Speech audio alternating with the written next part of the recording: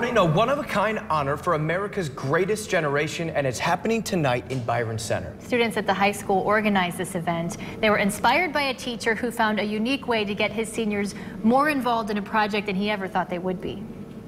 I think that's good. The 12th graders at Byron Center High School are too young to have grandparents who fought in World War II. Can I watch it from the beginning?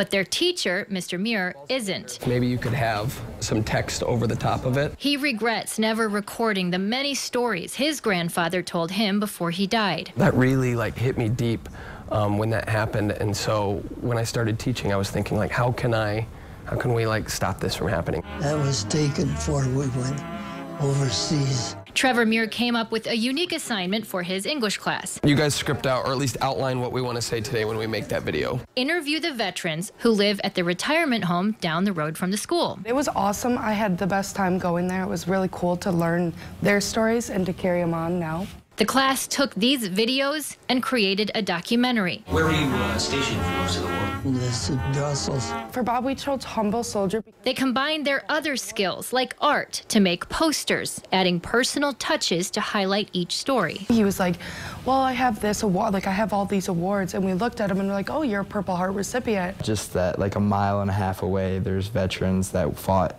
the Nazis in D-Day that no one knows their stories besides their families and we're just trying to get those stories out there. The students decided to take the project further and put on a special event in the auditorium honoring their newfound friends. Now all of a sudden it's not just about the grade book.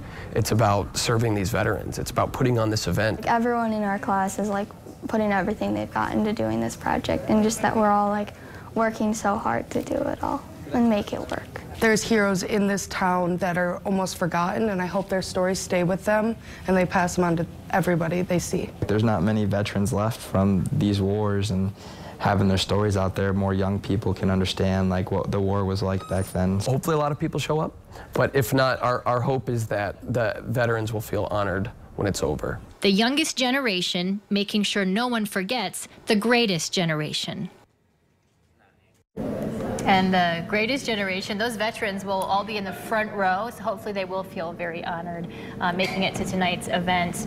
And what a move for these students. They came up with this. They created a whole lot more work for themselves than they originally had, and I can tell that they're just so happy with yeah, how this it, I mean, it seems like they certainly got more out of this assignment than they probably anticipated, but so did the veterans as well, it seems like. And hopefully you can too. The students and the vets hope that you will make it tonight to watch this documentary, hear the stories. It's at the high school auditorium at 6 o'clock. It is free, and everyone is invited.